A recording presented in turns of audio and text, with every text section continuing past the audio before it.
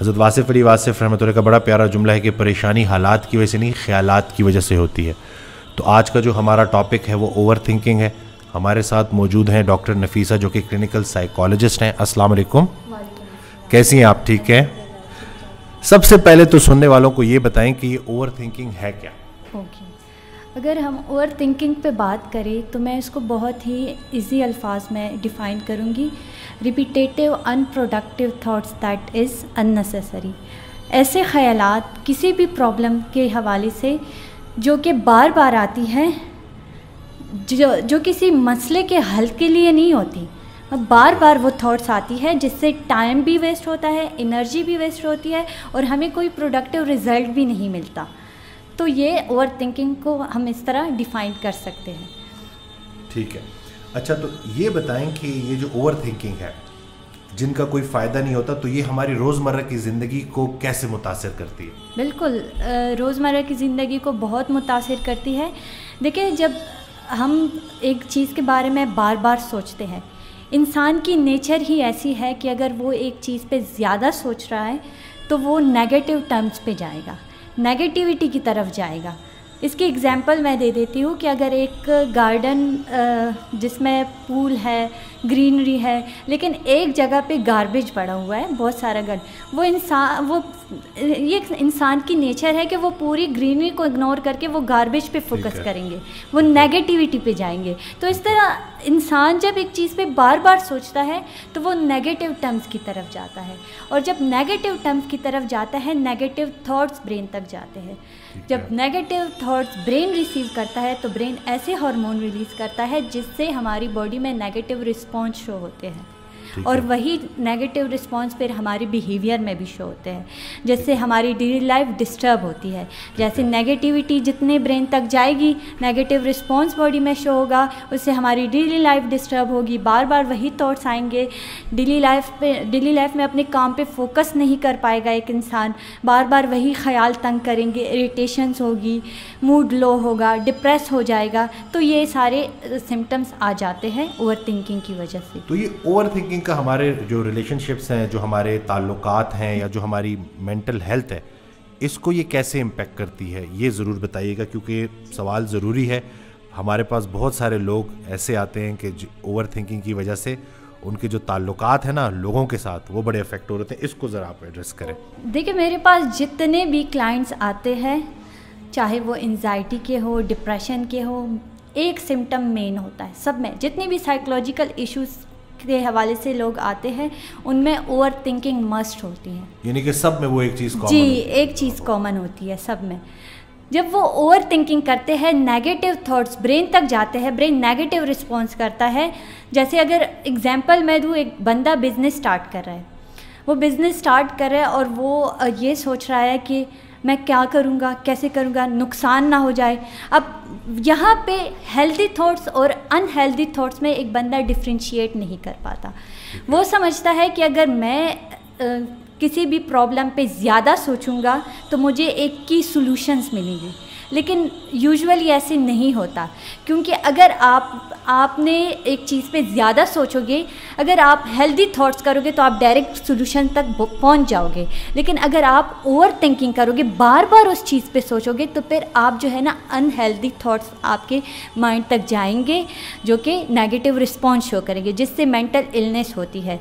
जितने भी क्लाइंट्स आते हैं, उनका यही मेन सिम्टम्स यही है कि वो बार बार सोचते हैं। अपने फ्यूचर के हवाले से अपने पास्ट के एक्सपीरियंस पे प्रेजेंट में नहीं रहते। जिनकी वजह से उनकी मेंटल इलनेस उनको मेंटल इलनेस होती है और साथ में रिलेशनशिप पे भी बहुत अफेक्ट करता है। ठीक है। थोड़ा ये रिलेशनशिप का बता दें कि रिलेशनशिप कैसे मुतासर होते हैं। रिलेशनशिप ऐसे मुतासर होते हैं जैसे अगर हम किसी दूसरे के बारे में सोचते हैं बार बार सोचते हैं इनका बिहेवियर मेरे साथ चेंज हो रहा है कुछ है आजकल इनके साथ कुछ चल रहा है। जैसे हस्बैंड वाइफ वाइफ ज़्यादा सोचती है कि हस्बैंड मुझे टाइम नहीं दे रहा है। कहीं वो किसी और में इन्वॉल्व तो नहीं है। ये बार बार नेगेटिव थॉट्स आते हैं। अब उनको वो वहाँ पे वो हेल्दी थॉट्स और अनहेल्दी थॉट्स में डिफ्रेंशिएट नहीं कर पाती। वो ये भी तो सोच सकती है कि पूरा दिन काम में होते हैं बिज़ी रहते हैं। लेकिन वो ज़्यादातर सोचती है तो इस वजह से वो नेगेटिव टर्म्स पे सोचती है नेगेटिविटी की तरफ़ जाती है, जिससे उनके रिलेशनशिप बहुत ख़राब हो जाते हैं। ठीक है। अच्छा ये मुझे बताएँ कि थोड़ा ना लोगों को सुनने वालों को ना कि वैसे भी तो बंदा सोचता है तो ओवर थिंकिंग में जो है थोड़े से साइंस का भी बता दें और इसकी वजह भी कॉजेज़ के ऊपर भी ज़रा एड्रेस कर दें कि ताकि लोग ज़रा समझ पाएँ कि नॉर्मल सोचना क्या है और ये एब नॉर्मल ओवर थिंकिंग क्या है, इसकी ओर थोड़ा सा आप कर दें। एक होते हैं हेल्दी थाट्स एक अनहेल्दी थॉट्स हेल्दी थॉट्स वो होते हैं जैसे कोई प्रॉब्लम है हम उन उन प्रॉब्लम के सोल्यूशन तक जाएँ। ठीक है। उन प्रॉब्लम के सोल्यूशंस पे सोचें। वो हेल्दी थॉट्स है। अब अनहेल्दी थॉट्स वो होते हैं कि उन प्रॉब्लम से रिलेटेड जो भी अपनी कमतरी को सोचे अपनी स्ट्रेंथ को सोचे मैं क्या करूँगा कैसे करूँगा हो पाएगा कि नहीं ये अनहेल्दी थॉट्स होते हैं। ठीक है। जैसे मैं एक एग्जांपल दे देती हूँ। तुर्की में जब अर्थ क्विक आई थी तो जितने भी जियोलॉजिकल सर्वे के बेस पे ये कहा गया कि पाकिस्तान और इंडिया में भी उसी तरह अर्थ क्विक आएँगी। अब पाकिस्तान और इंडिया के लोग सोचने लगे इस चीज़ पे। ज़्यादा सोचने लगे। अब कुछ लोगों ने problem solving healthy thoughts healthy thinking start कर दी। कुछ लोगों ने ओवर थिंकिंग स्टार्ट कर दी। बिल्कुल बिल्कुल सही बात जी ये इसी तरह प्रॉब्लम सॉल्विंग और ओवर थिंकिंग में डिफ्रेंशिएट आ जाता है। ओवर थिंकिंग उनकी कैसी थी? क्या होगा? कैसे होगा? घर टूट जाएँगे तबाह हो जाएँगे मर ना जाए। अल्लाह की तरफ़ से अजाब है। ये ओवर थिंकिंग उनको आ रही थी, जिनसे वो पैनिक भी हो जाते थे। बहुत से लोगों में एनजाइटी क्रिएट हो गई थी। इन्हीं उनको बार बार पैनिक अटैक्स आ रहे थे।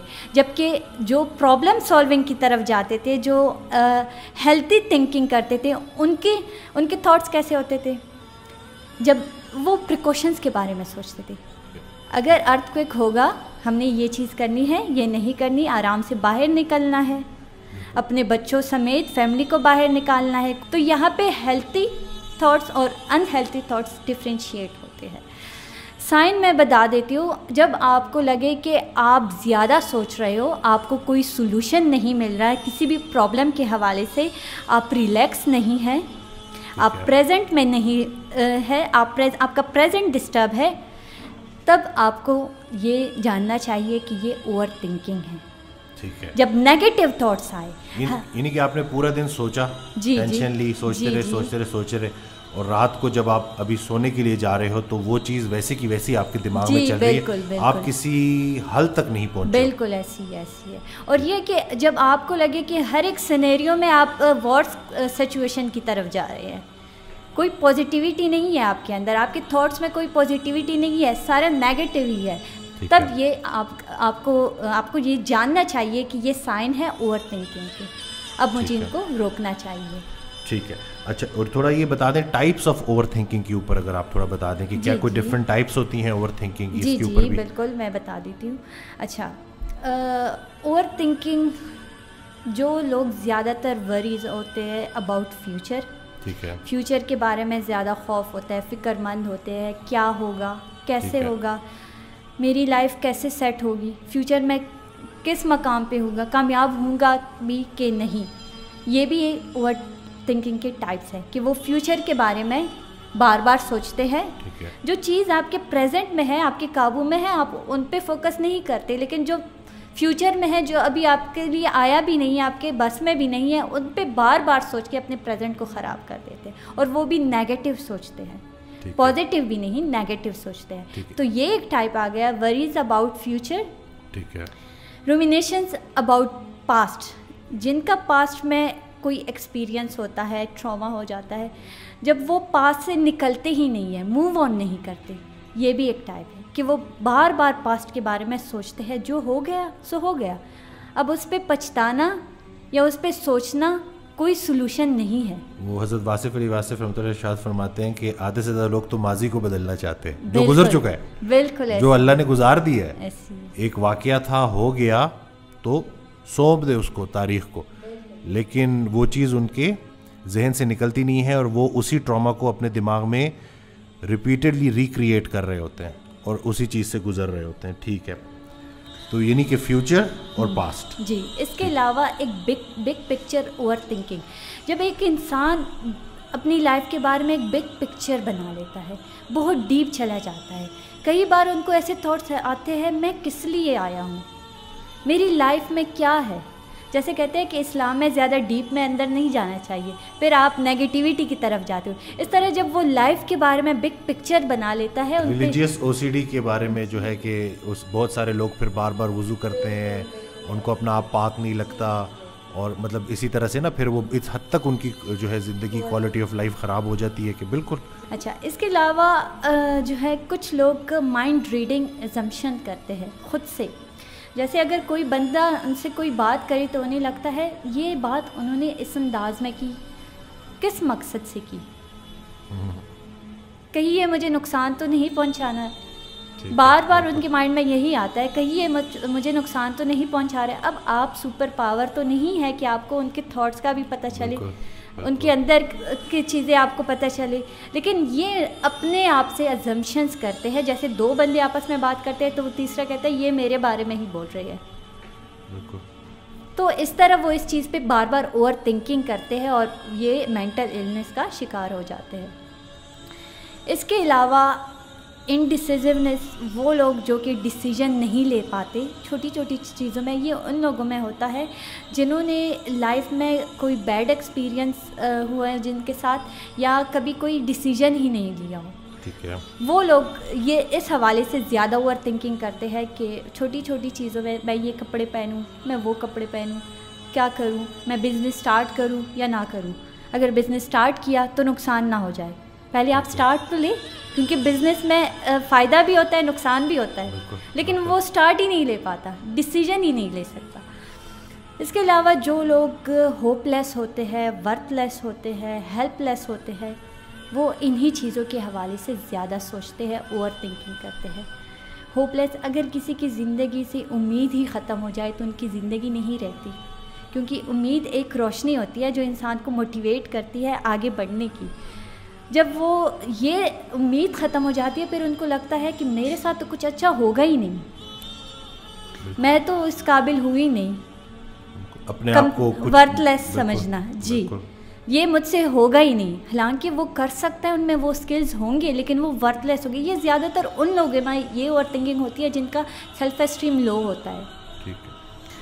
कॉन्फिडेंट लो होता है। उन लोगों में ये ऐसी ओवर थिंकिंग ज़्यादा होती है लेकिन होपलेस वर्थलेस हेल्पलेस इन चीज़ों से रिलेटेड जब ओवर थिंकिंग होती है ये बहुत एक्सट्रीम लेवल की होती है। और ये इंसान को सुसाइड की तरफ़ लेकर जाती है। सेल्फ हार्म की तरफ़ लेकर बिल्कुल सेल्फ हार्म की तरफ़ लेकर जाती है। ये बहुत डेंजरस होती है। अगर आपको लगे कि आपके थॉट्स होपलेस की तरफ़ जा रही है या आपके थॉट्स वर्थलेस की तरफ़ या हेल्पलेस की तरफ़ जा रही है तो आप वहाँ पे अपने थॉट्स को आइडेंटिफाई करें कि ये इरेशनल थाट्स है। ठीक है। इस पर मैंने नहीं सोचना यहाँ पे सारी नेगेटिविटी है। इससे मेरी लाइफ ख़राब हो जाएगी। ठीक है।